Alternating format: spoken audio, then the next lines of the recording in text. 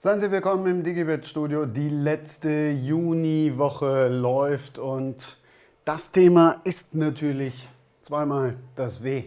W wie Wimbledon und W wie Weltmeisterschaft der Frauen. In Wimbledon, tja, viele sind nicht mehr übergeblieben, aber eine, eine haben wir noch im Rennen und die muss heute relativ früh dran. Und da glaube ich fest dran, dass die auch tatsächlich was reißt. Sie wissen, von wem die Rede ist. Wir schauen hier nach. Wo ist sie? Lisicki. Nicht im Doppel, sondern natürlich hier im Einzel. Da. Lisicki gegen Czetkowska. Und wenn wir da auf die Quote sehen, dann sehen wir auch, dass Lisicki tatsächlich die große Favoritin ist. Für mich ist sie nicht nur Favoritin heute in diesem Match, für mich ist sie mittlerweile sogar Favoritin auf den Titel, wenn auch eine Geheimfavoritin. Aber ich stehe mit meiner Meinung wahrlich nicht alleine, denn Barbara Rittner, die sagt das auch, die sagt, Mensch, der kann man vieles zutrauen. Und Lisicki selber sagt, ich möchte noch ein bisschen bleiben, ich möchte noch ein bisschen weiterkommen.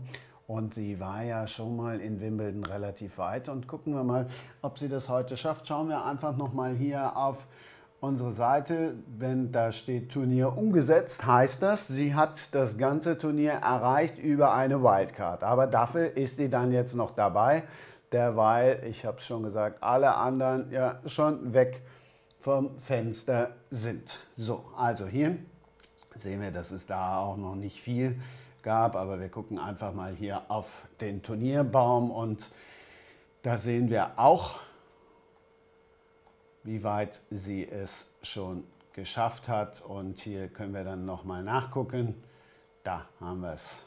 Also da geht es heute dann weiter im Achtelfinale. Nun, ich bleibe dabei, also hier haben wir es jetzt nun, ich bleibe dabei. Wer die Siegerin aus Frankreich rausschmeißt, der schafft das auch heute. Und deshalb hier ein ganz klarer Sieg. Gibt zwar nur 1,23 Euro, aber sei es drum.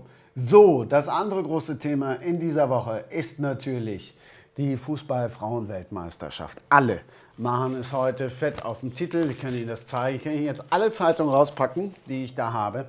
Ein Sportmagazin, ein Fußballmagazin schafft es peinlicherweise, für mich peinlicherweise, nicht den Frauenfußball groß zu machen, sondern hier oben, da in der Ecke ist Silvia Neid versteckt. Also, liebe Freunde vom Kicker, das ist peinlich. 14 Millionen haben sich gestern das Auftaktspiel angeschaut und ich sage Ihnen eins, das war vielleicht 60 Prozent der Leistungsstärke. Also die deutsche Mannschaft kann mehr. Ich bin super optimistisch und Sie sehen ja, das Interesse ist riesengroß. Ganz anders in England.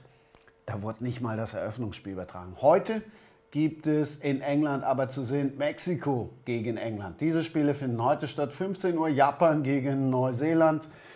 Wir wissen, Japan ist eigentlich der ganz große Favorit. Das sehen wir hier auch in den Quoten, zumindest in diesem Spiel. Aber wir erinnern uns auch, dass Bernd Schröder, der Trainer von Potsdam, gesagt hat, Japan, die sind durchgeschüttelt. Die sind von Fukushima so getroffen, dass man nicht weiß, wie weit die kommen werden. Für Bernd Schröder und für mich auch sind sie kein großer Favorit.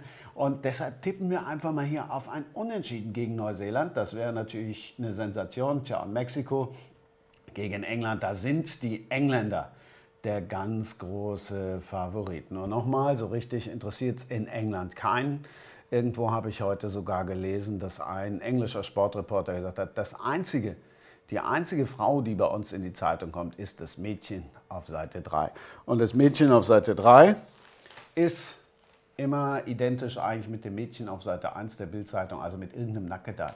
Heute bei uns in der Bildzeitung nichts ist mit Nackedei, sondern das Foto des Tages von gestern. Mal gucken, ob ich das jetzt schaffe, da näher ranzufahren. Angela Merkel bei dem Zittersieg unserer Mannschaft. Dieses Foto finden wir heute in jeder Zeitung. Morgen, Uli Potowski, einen schönen Tag. Daumen drücken für Lisicki und unsere Damen, Fußballdamen, sind ja erst wieder im Lauf der Woche dran. Donnerstag und tschüss.